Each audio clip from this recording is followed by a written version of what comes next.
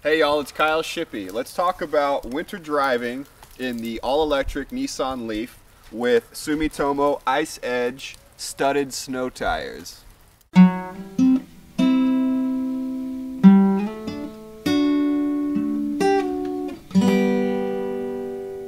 Alright, so inside the Nissan Leaf, we're looking at some gauges here.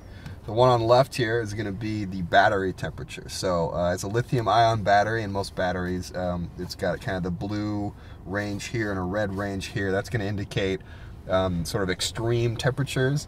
And with any battery that's in extreme temperatures, its performance is going to be a little bit degraded. So in this case, we're getting pretty pretty close to the cold side, and that means that its power output isn't quite what it is during the fall, winter, and maybe even summer months. When summer it's kind of up up over here, but uh, not still not extremely hot. So the batteries perform very well.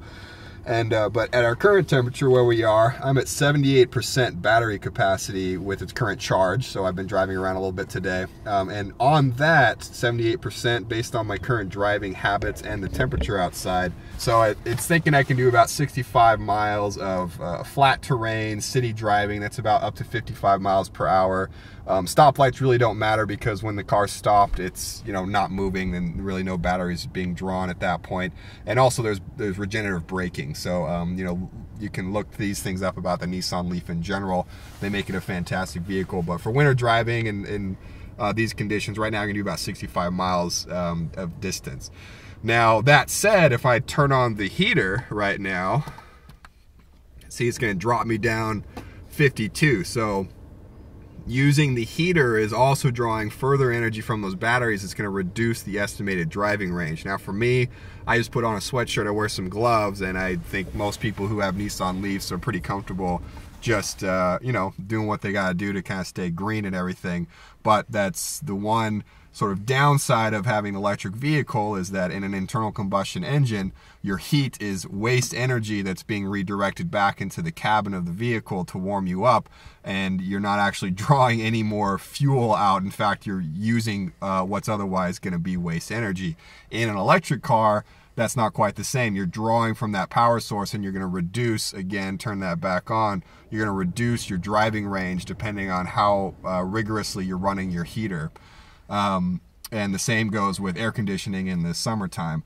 That said, if I turn on the steering wheel heating and I turn on the car heating seat right here, now I have thermal heating on the steering wheel and I also have thermal heating in my seat, but that driving range has not been reduced. So there are some nice comforts built in, and because of the very low wattage required to run these particular uh, heating coils um, in the steering wheel and in my seat, it basically is negligible effect on the battery range, and I can, you know, continue to, to use those um, without really impacting how far I can go.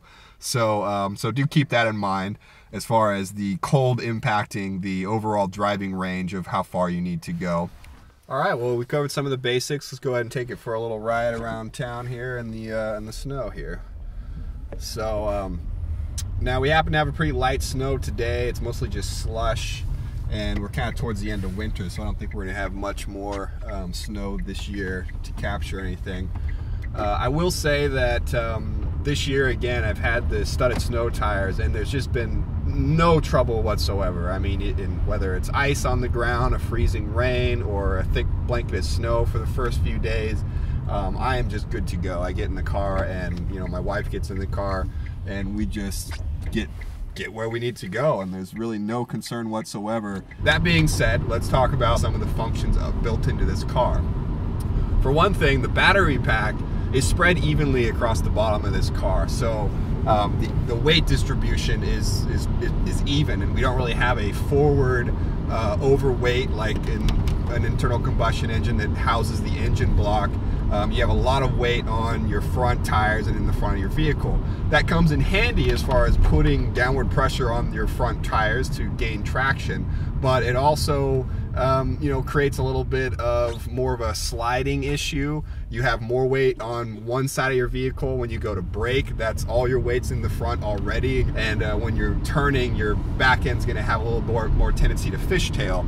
Um, in this vehicle, that I'm in right now with the weight distributed evenly across the bottom of the vehicle and not that much really on the front of the vehicle as compared to an internal combustion engine.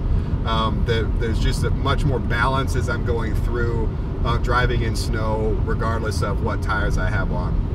The other thing that's very cool about this vehicle is that like most new vehicles, um, there's a computer automated sort of takeover of the uh, of the front wheel drive when you start to get into a condition it starts to sense there's a condition where you're not having equal traction on your tires and that's going to happen if you are again on snow or ice or maybe in mud or, you know other situations that the computer is going to kind of try to take over and and just help you get through that whatever that muck might be um, in the case of this electric vehicle because there's no wait time. You know, the computer senses that it needs to make an adjustment and there's no wait time. The electric motor immediately is adjusting. It's called instant torque.